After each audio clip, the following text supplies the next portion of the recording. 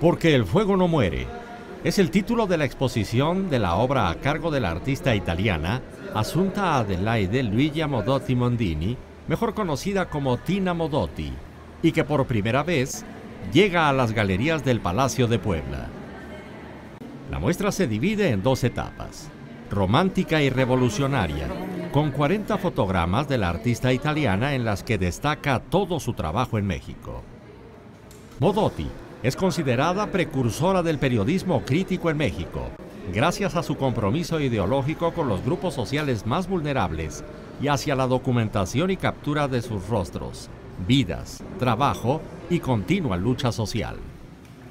Gracias a la colaboración con el Instituto Nacional de Antropología e Historia, el Sistema Nacional de Fototecas y la Secretaría de Cultura Federal, la exposición permanecerá abierta al público del 8 al 23 de junio. Con información e imágenes de Ángeles González, corresponsal en Puebla, Notimex.